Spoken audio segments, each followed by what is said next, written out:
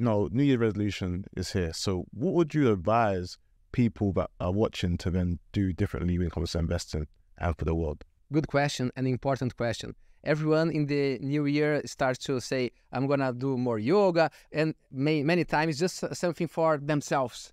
How can we have a uh, a look at, at everyone. How can we have actions to invest in a world that we believe? How can we invest in something that we can make the world better? Of course, helping you, but helping others.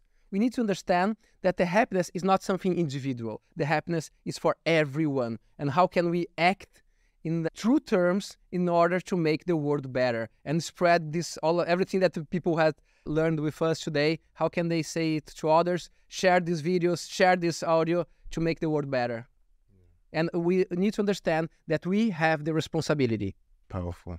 Yeah, I like that. So you can have yoga on the list, but add some other things for other people as well.